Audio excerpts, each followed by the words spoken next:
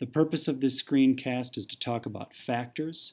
These will be in play all year long. We'll be talking about these different factors. Push and pull factors are those factors that brought people to the colonies and later the, the United States. So I'll be defining these and giving examples of these. And then political, social, and economic factors are ways to organize your notes. They're categories in which to put the ideas you come across in readings or in lectures. You put things into these categories. All right, let's get started. So Roman numeral 1. It's an uppercase Roman numeral 1 all the way to the far left of your page in the notes section is reasons to immigrate.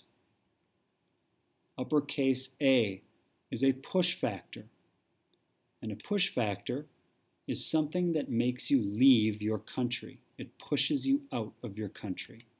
Examples include war, famine, religious intolerance, political intolerance, and poverty. Famine is when there's not enough food available religious and political intolerance is when you are being discriminated against because of your religion.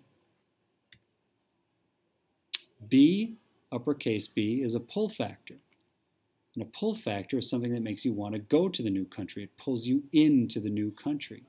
Examples of pull factors include opportunity, like education or housing, freedom of religion, or economic opportunity like jobs, for example, or just the, the place you're going to has a better economy, a chance to make more money or to support your family. So these are the push and pull factors, and we'll be talking about these with regards to colonial immigration first, but then later the second wave of immigration as well, and all the various waves of immigration is why people come to a new place. Roman numeral 2, organizing your notes and ideas. So what I'm about to give you is going to help you organize your notes. Uppercase A is political factors. So sometimes your notes will have to do with political factors, and these help shape history. And it's anything related to the government or politics. So if you're taking notes and it's about a law or something to do with the government or politicians and politics, it's a political factor. And examples include types of government, the stability of a government, the power a government has, type of political system like a democracy, monarchy, or dictatorship. These are all political factors. Uppercase B, social factors.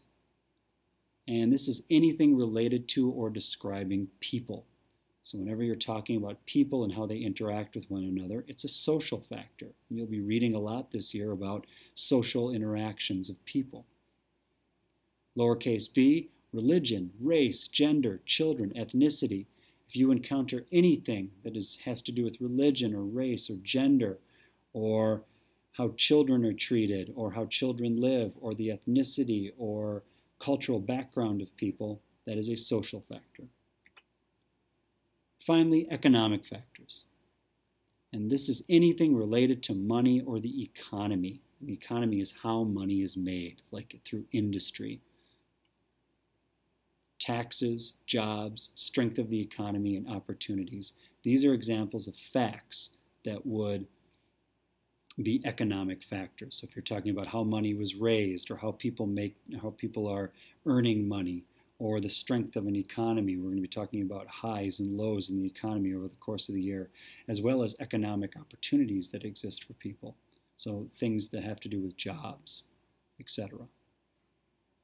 So these are the three factors that you will organize your notes into over the course of the year. All right, this ends the screencast. Thank you.